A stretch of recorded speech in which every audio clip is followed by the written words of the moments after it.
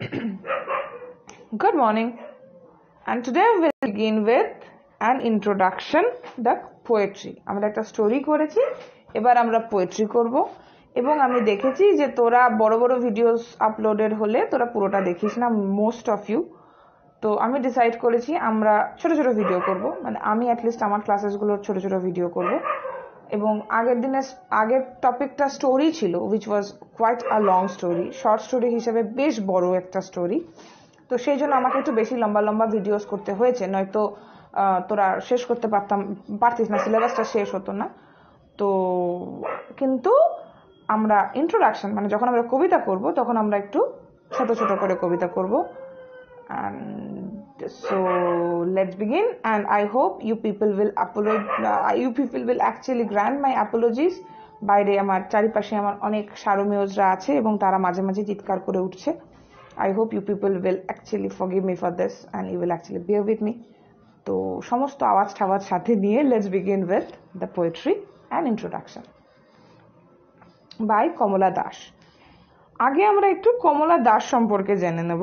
Kamala Das the poetess was born on 31st March 1934.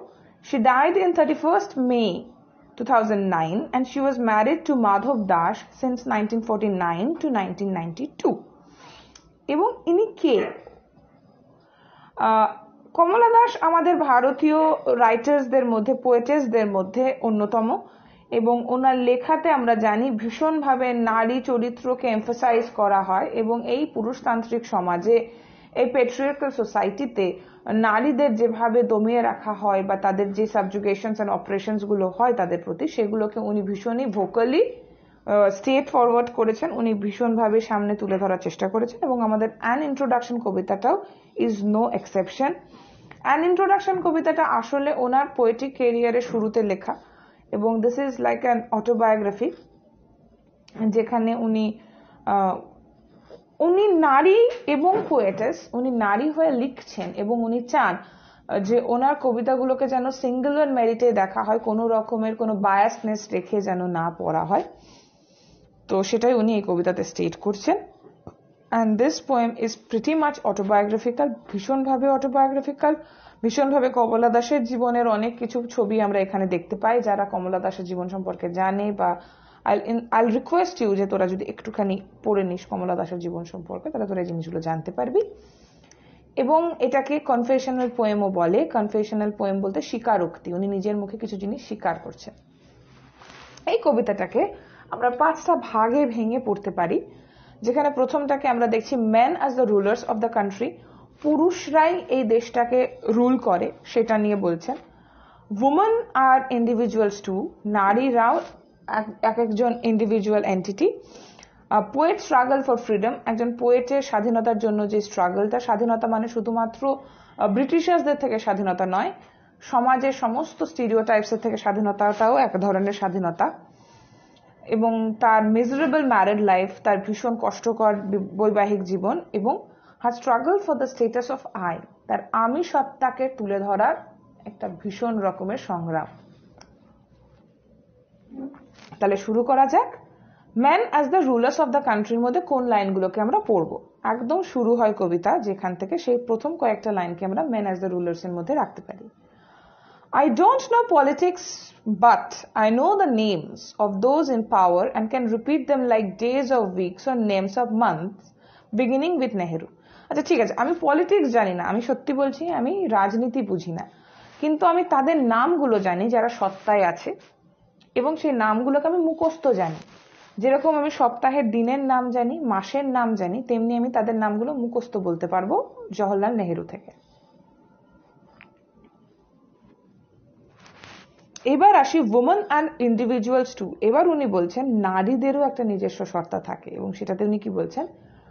I am an Indian very brown born in Malabar I speak three languages write in two dream in one আমি Indian very brown born in Malabar ইন্ডিয়ানদেরকে brown বলে আফ্রিকানদেরকে black বলে, কারণ তারা আরও বেশি কালো।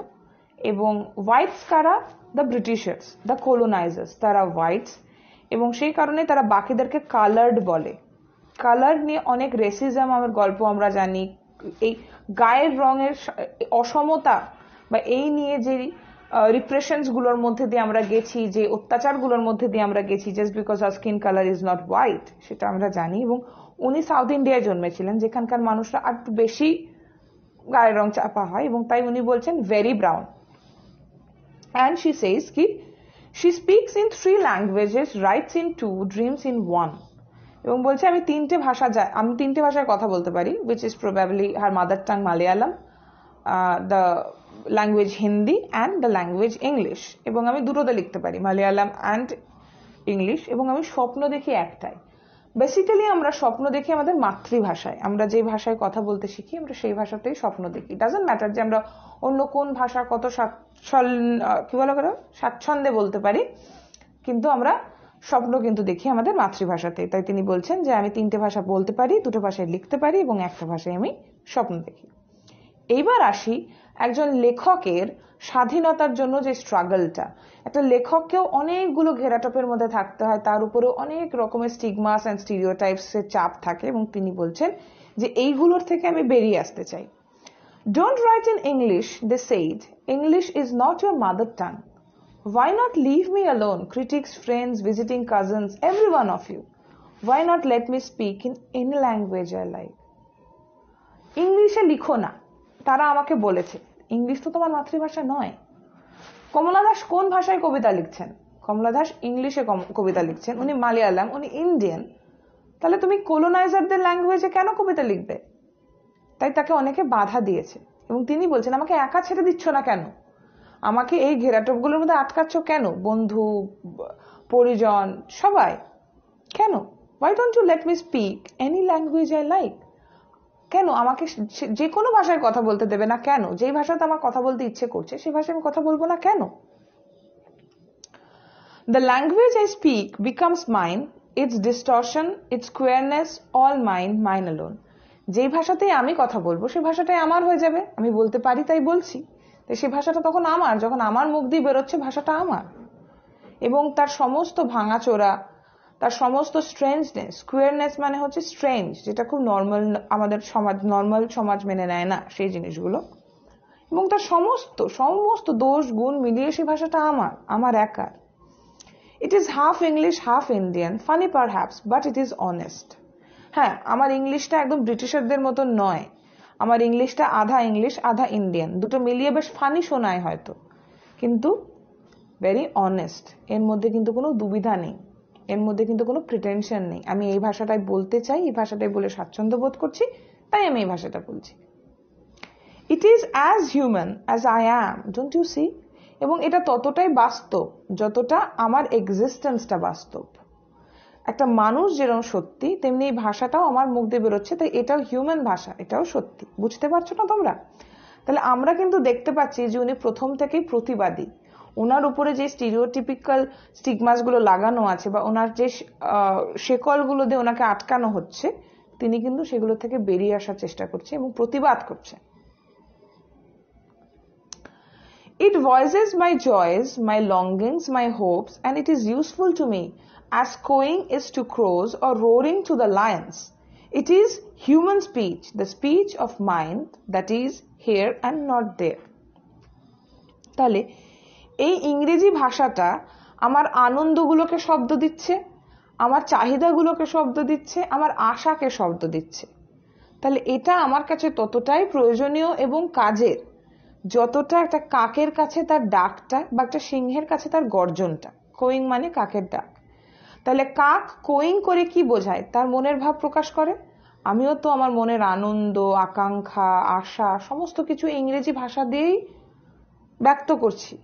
তাহলে একটা সিংহের কাছে তার গর্জন যেরকম সত্যি, বা কাজের একটা কাকের কাছে তার কোয়িং যতটা সত্যি বা কাজের, আমার কাছেও এই ভাষাটা ততটাই ইউজফুল এবং এটা একটা হিউম্যান স্পিচ এটা একটা মানুষের ভাষা, এটা একটা মানুষের কথা, একটা মানুষের মনকে ব্যক্ত করছে।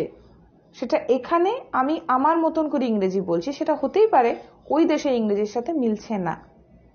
A mind that sees and hears and is aware not the deaf, blind speech of trees in storm or of monsoon clouds or of rain or the co- incoherent mutterings of the blazing funeral pyre এবং একটা মন যেটা সজাগ একটা মন যে চৌখোস সে কিন্তু ঝড়ে গাছগুলো যখন এলোপাথারি নড়ে তাদের একে অপরের সাথে যখন ঘর্ষণ হয় বা তাদের পাতার মধ্যে যখন হাওয়া চলে যায় যে আওয়াজটা হয় সেটা কিন্তু সে বুঝতে পারে।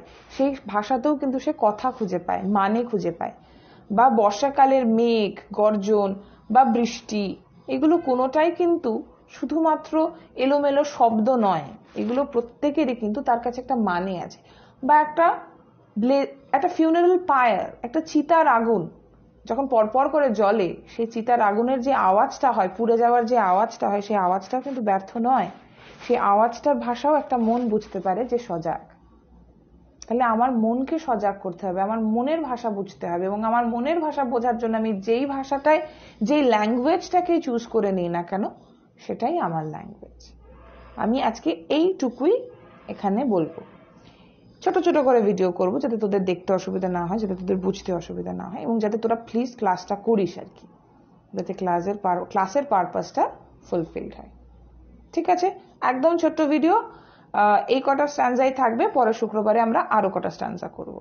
ঠিক আছে? হ্যাভ আ নাইস ডে চলো, টাটা।